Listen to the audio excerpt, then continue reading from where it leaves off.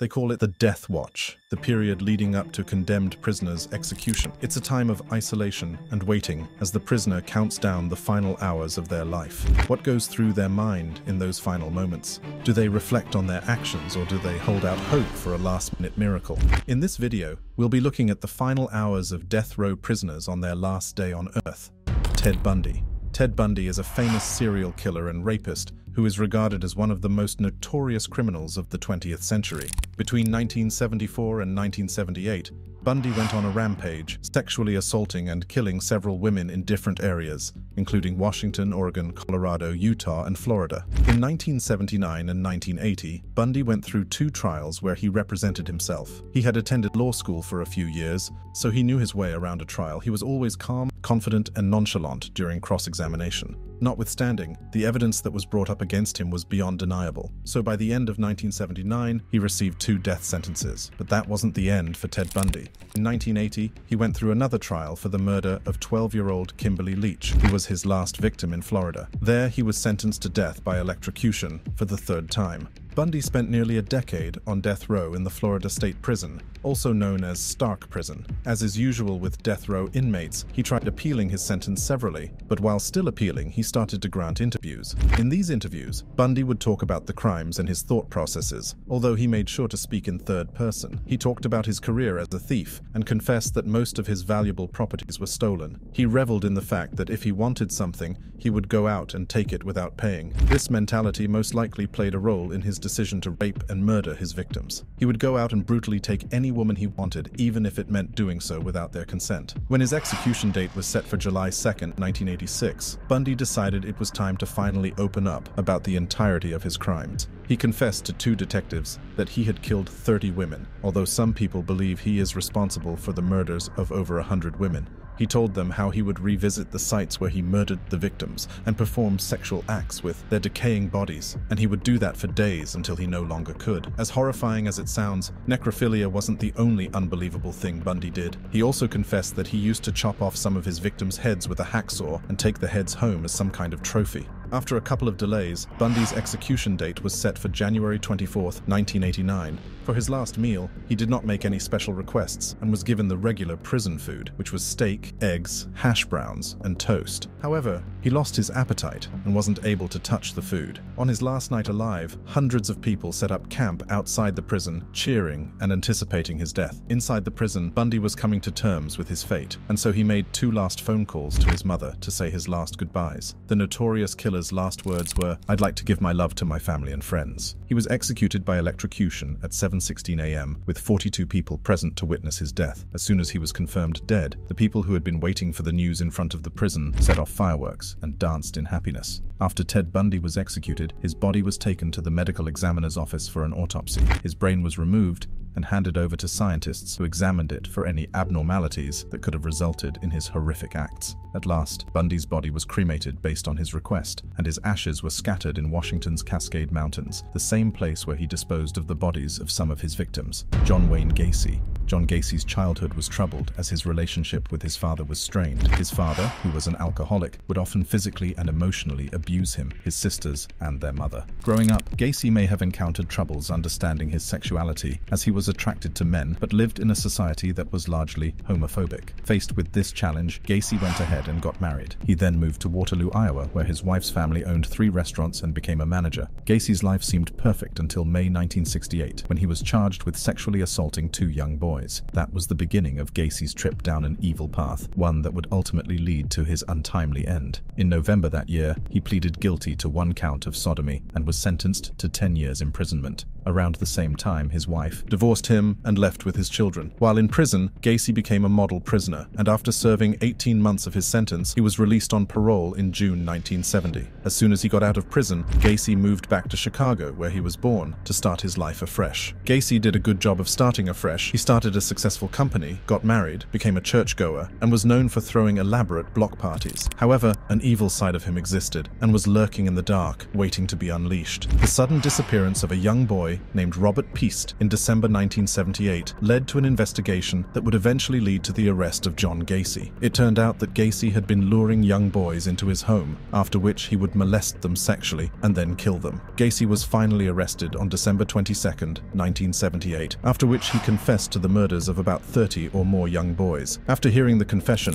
the police searched his home and found 26 bodies hidden in a crawl space. Gacy's trial started in February 1980, and he was charged with 33 murders. He was found guilty of the murder charges, as well as sexual assault, and was sentenced to death. Gacy spent 14 years on death row at the Menard Correctional Center. The isolation that comes with being on death row led him to start painting. He would paint different clowns, skulls, his home, and birds. His paintings even got put on display and were sold at auctions. As interesting as that might sound, it wasn't the only thing Gacy took an interest in. He read a wide range of law books and amassed the knowledge he needed to apply for numerous appeals. However, his knowledge and appeals did nothing to save him, as in October 1994, the execution date was set for May 10, 1994. The day before his execution, Gacy was moved to Stateville Correctional Center, where the execution would take place. Gacy spent the afternoon with his family in a picnic held on prison grounds. For his last meal, Gacy requested a bucket of KFC chicken, a dozen fried shrimp, french fries, fresh strawberries, and a Diet Coke. In the evening, he was visited by a Catholic priest who performed the last rites just before he was escorted to the execution chamber. As Gacy was preparing his mind to die, a crowd was gathering outside the Stateville Correctional Center, waiting for his execution. Most of them were happy that Gacy's reign of evil was coming to an end,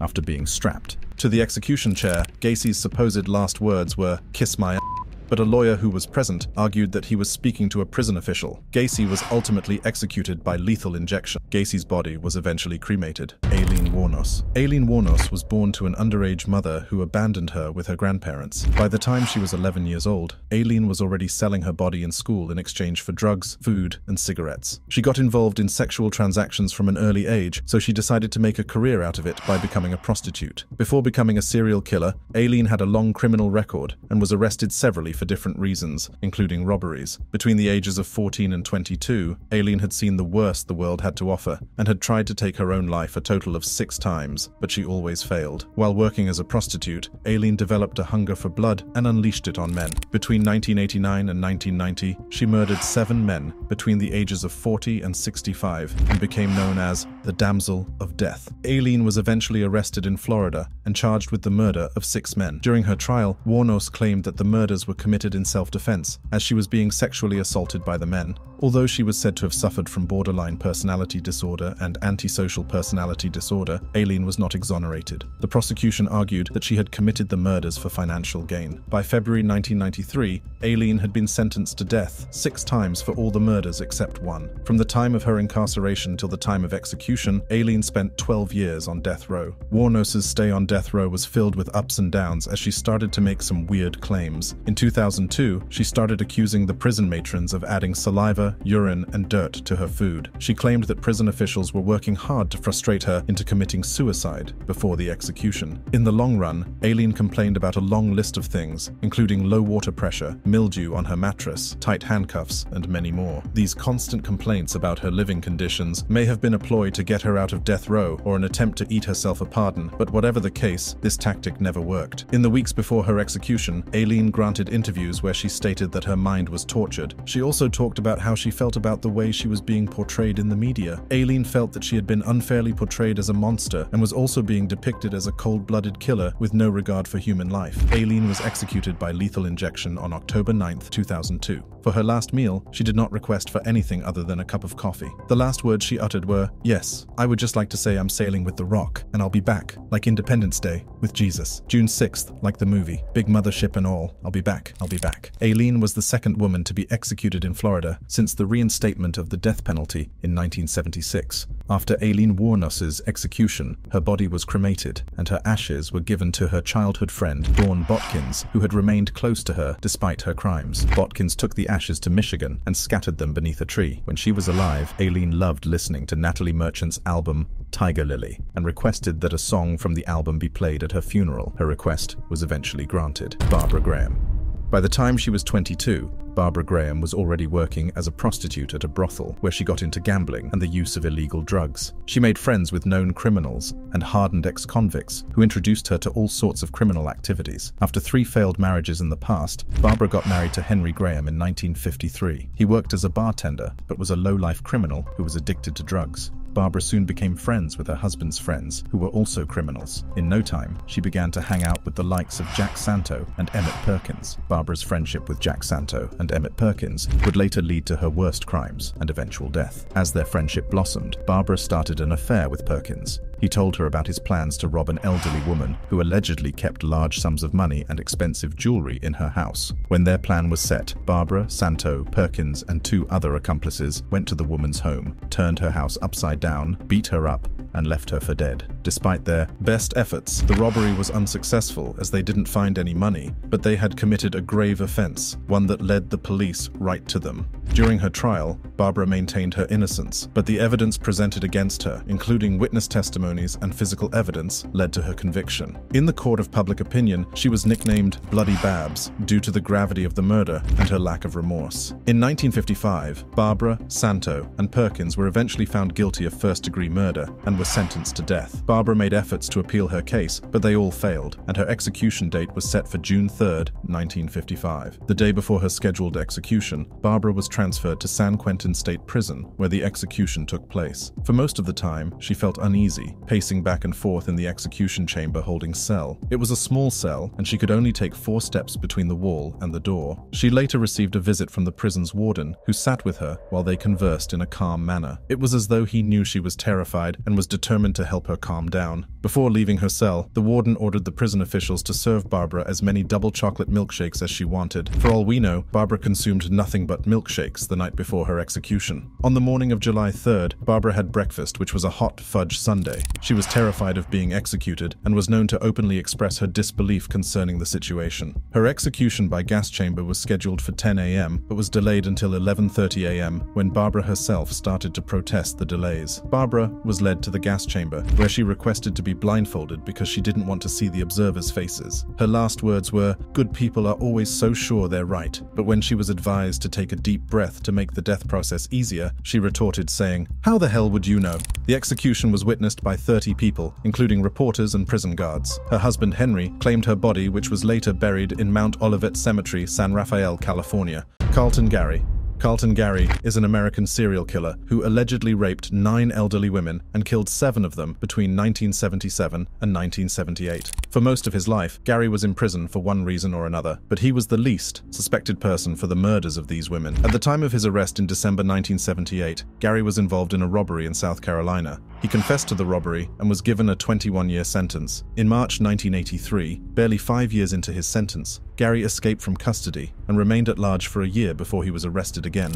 Investigations into the murders of those elderly women by a serial killer who had been tagged the stocking strangler took a different turn when new evidence led the authorities straight to Gary. They had found a gun and a fingerprint match that proved he was the serial killer who had been terrorizing the city of Columbus, Georgia. Finding his fingerprint at one crime scene may have been a coincidence, but this wasn't the case because Gary's fingerprints were found at four different crime scenes. Gary was indicted for the murders in May 1984, and while he did admit that he was indeed in the houses of those women, he insisted that he didn't commit the murders and that another person had killed the victims. Despite Gary's attempts to maintain his innocence, the prosecution's case against him was strong, and with all the evidence against him, he was convicted and sentenced to death for three of the seven murders in August 1986. As a death row inmate, Gary was held in a 6 by 9 foot cell where he spent most of his time in solitude. As is customary for death row inmates, he was allowed one hour of exercise per day. His cell had a television and a radio to keep him company. As the years passed, Gary developed a keen interest in art and started to showcase his artistic talent. He spent his time hand-making Christmas and birthday cards for people. Aside from art, Gary's life took a positive turn when he got married in 1996. He met his bride through a church group that would often visit the prisoners. Not only did he get married, he also adopted the woman's daughter. Despite being behind bars, Gary loved his wife and formed a close bond with his adopted daughter. For the longest time, Gary hoped that one day he would be exonerated, but that day never came. He appealed severally for years, but his verdict remained the same. On December 16, 2009, about four hours to his execution, Gary's hopes of an exoneration were rekindled when the Georgia Supreme Court put a hold on his execution, This was done because the court wanted to determine whether it was necessary to conduct DNA tests to prove him innocent or guilty of the crimes. Unfortunately for Gary, all hopes were crushed permanently in February 2018 when a new date of execution was set for March 15, 2018. During his final preparations before his execution, Gary refused to eat his final meal. He also rejected the offer of making a prayer. For someone who was known as a charismatic and chatty person, Gary surprisingly did not make any final statements before his execution. At the age of 66, Gary was executed by lethal injection at the Georgia Diagnostic and Classification Prison in Jackson, Georgia. The state of Georgia uses the prison as an execution center, as well as a museum that exhibits artifacts related to the history of capital punishment in the state. What happened to Gary's body remains unknown, but it is possible that he was buried in an unmarked grave or that his body was cremated. Gary Gilmore. Gary Gilmore turned to crime at a young age and was first arrested at age 14. In 1964, he was sentenced to 15 years in prison for assault and armed robbery. He was later released on parole in April 1976, after which he moved in with his cousin in Provo, Utah. There, he tried to take on legitimate jobs twice, but failed each time. Frustrated, Gilmore went right back to his violent tendencies stealing, and drinking. In July 1976, just a few months after he was paroled, Gilmore upgraded his status from an ordinary criminal to a murderer. On the 19th of July, Gary Gilmore walked into a gas station in Orem, Utah. He robbed the station, but before he left, he fatally shot Max Jensen, an employee at the station. As if killing one man wasn't enough, the following day, Gilmore robbed a motel in Provo, but he didn't leave without shooting the motel's manager, Ben Bushnell. Bushnell's wife had witnessed the encounter and watched Gilmore exit the premises with their cash box. Gilmore Gilmore accidentally shot himself in the right hand while he was trying to hide the murder weapon in a patch of bushes. When he returned to a service garage where he left his truck to be repaired before going to rob the motel, the garage owner noticed his hand bleeding.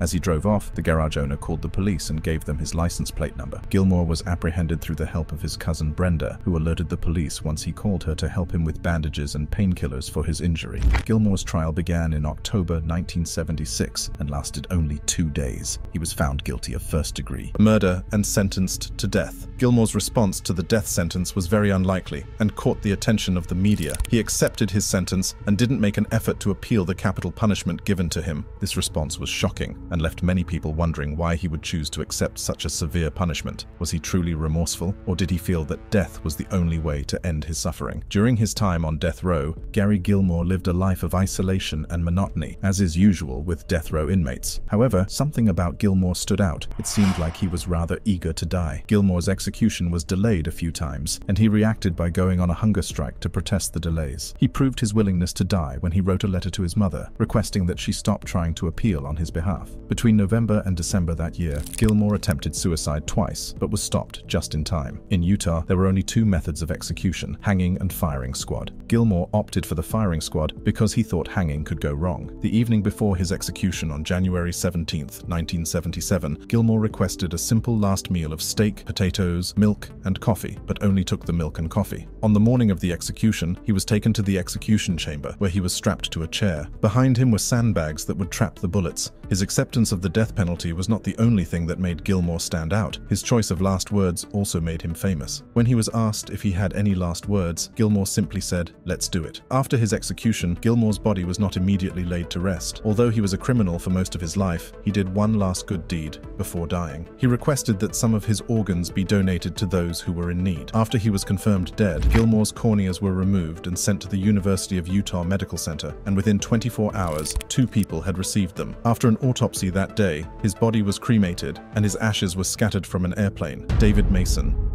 David Mason went from petty crimes like stealing and prostitution to terrorizing the city of Oakland, California between March and December 1980, killing at least four elderly people in their homes. In January 1981, Mason was involved in a car chase with the police and was able to escape, but he left the car behind. The authorities then used the information obtained from the car to locate his house. At the house, they were able to speak to Mason's mom and brother. The pair gave them a video cassette made by Mason himself. In the video, Mason confessed to all his crimes, describing them in detail. He had left the video with his family in case something happened to him. Based on Mason's confessions, a warrant was issued for his arrest. And on February 4th, 1981, when the police arrived at the Holiday Inn where he was staying, he offered no resistance and was taken into custody without incident. Mason confessed all his crimes, but he added another murder to the list law enforcement already had. He confessed to killing his lover, Robert Groff, because during an argument, Groff admitted he intentionally infected Mason with herpes. Before his trial, Mason was held at the Alameda County Jail, where he and a fellow inmate teamed up to murder another inmate.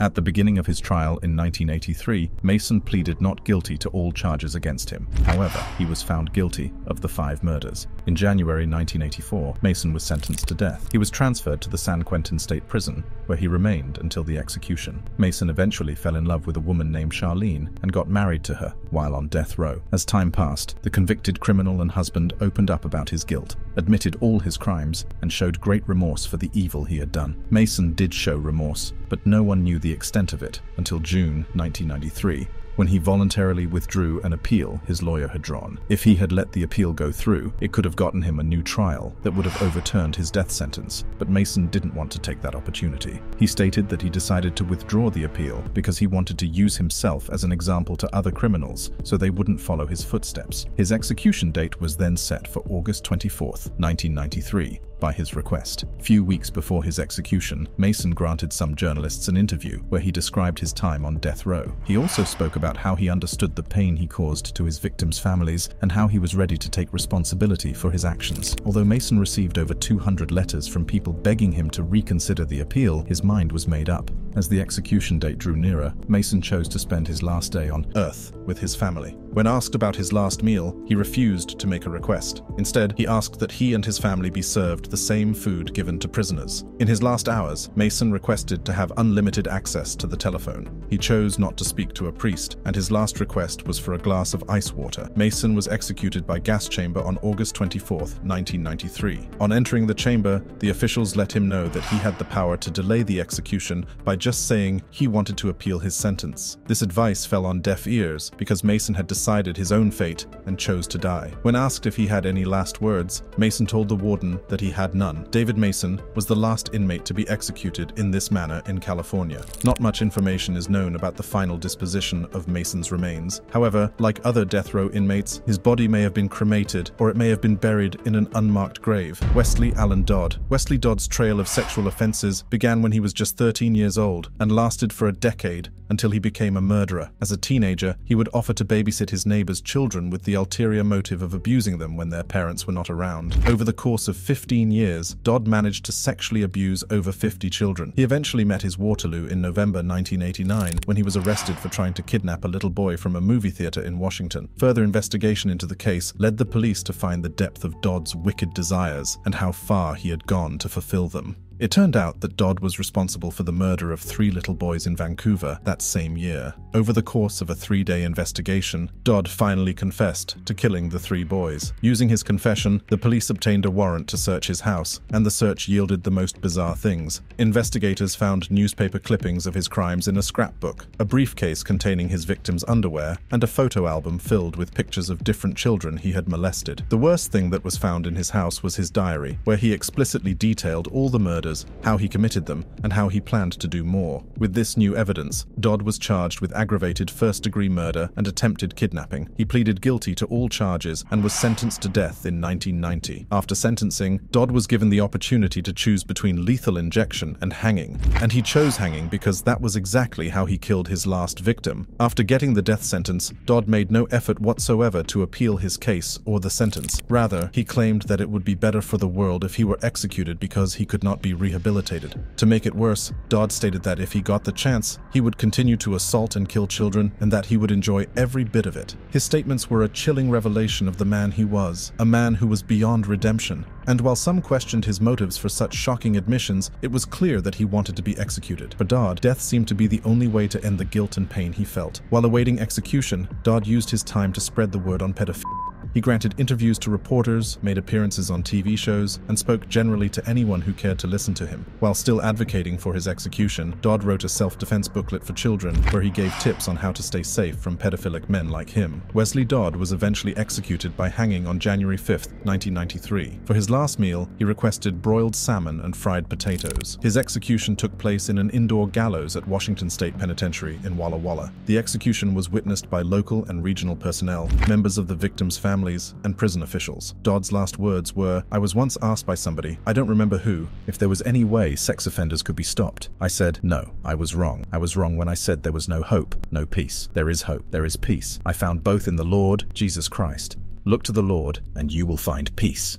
Dodd was the first person to be executed by hanging in the United States in over 30 years. Once the rope was placed around his neck, a deafening silence enveloped the place. As soon as the hangman pulled the lever, it was only a matter of seconds before Dodd's life was over. Immediately after he was confirmed dead, Dodd's body was moved to Seattle, where an autopsy was carried out. After the autopsy, the body was cremated and his ashes were handed over to his family. Over the years, death row inmates have behaved differently in their last few hours. Some continue to fight until the end, others accept their fate in peace, while while others, like Wesley Dodd, ask for a speedy execution. However, there is no way of telling how anyone would choose to spend their last hours on Earth. Check out this next video to learn about the experiences of death row inmates behind bars.